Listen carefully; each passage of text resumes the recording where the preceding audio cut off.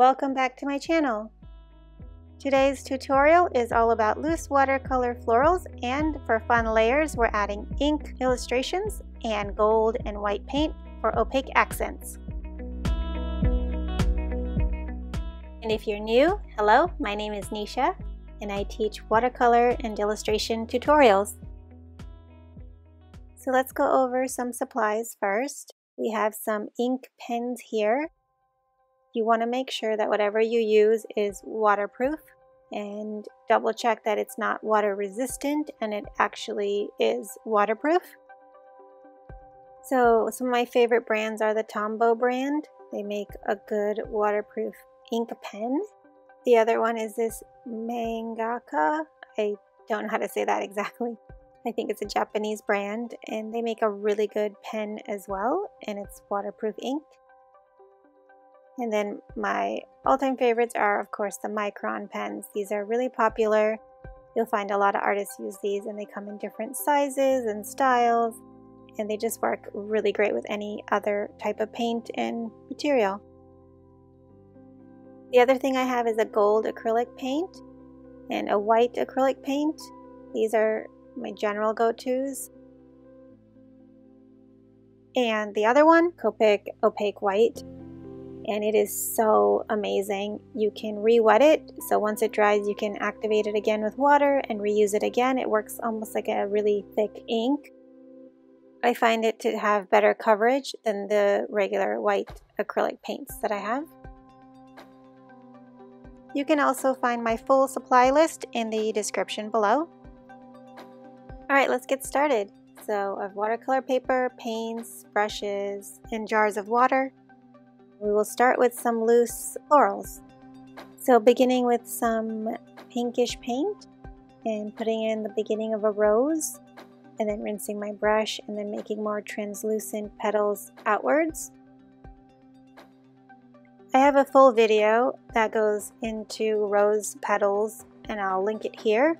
So if you haven't seen that already, I would recommend watching that and practicing roses if this is brand new to you.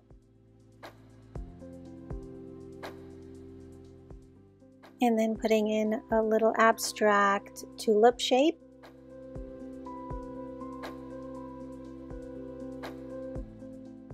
And then getting a little bit more paint and making a second rose and doing the same thing with the translucent petals. While it's still wet, I'm dropping in a few extra colors to brighten up the florals. And then using some purple to put in some petals here. And then I'm rinsing my brush and making more translucent marks going outward.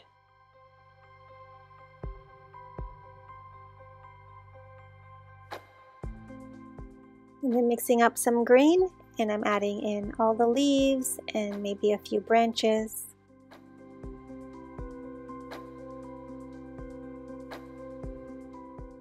Varying up the shades of green can be a really fun effect. You can do that by adding a little bit more yellow into your green or adding a little bit more blue into your green and getting a nice range.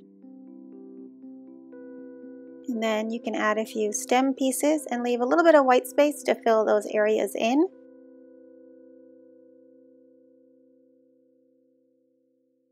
And then for some contrast in shapes, I'll add in some abstract berries. I really like this blue color.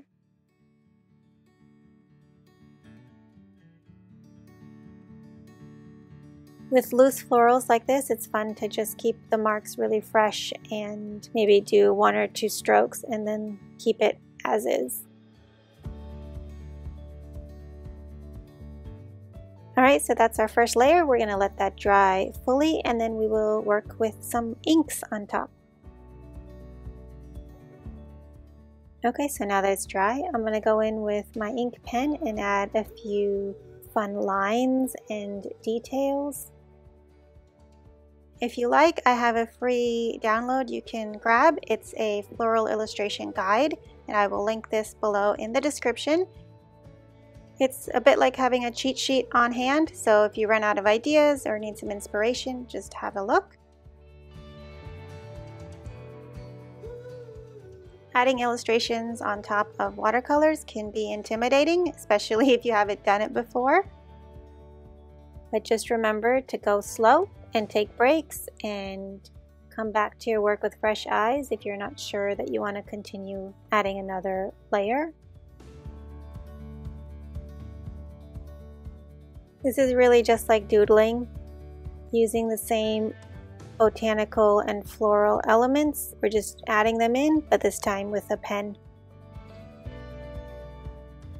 If you love botanical illustration, definitely check out the links below. I have a course on both watercolors and ink illustrations for all things botanical. This video is barely scratching the surface, so if you are interested and you want to do a deep dive and really understand the skills and techniques, I'd love for you to join me there.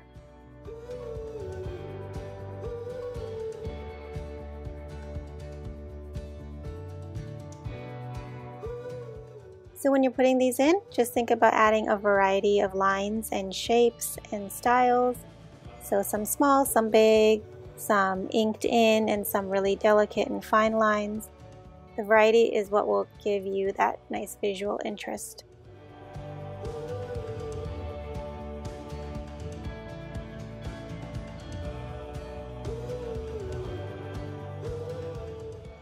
Fun to also add some outline roses, just a bunch of circular wiggly lines.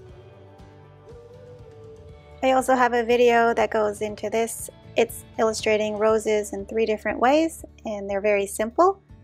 It also comes with a printable PDF guide and I will link that video here as well.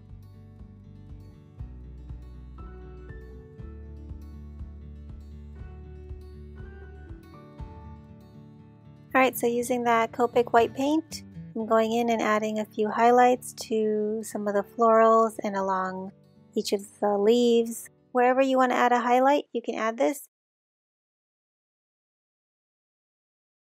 I'm also using a small detail brush and it makes it easier to get into the tiny areas.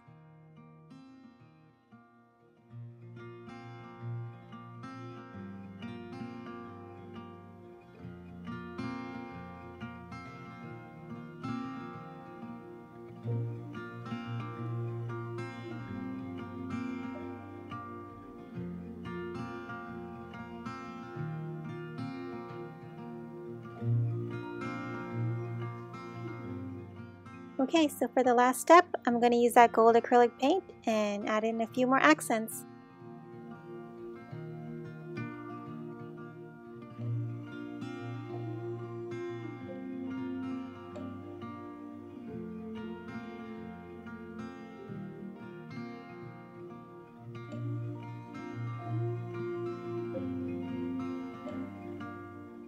So I'm not going to go too far with this because there is a lot going on already.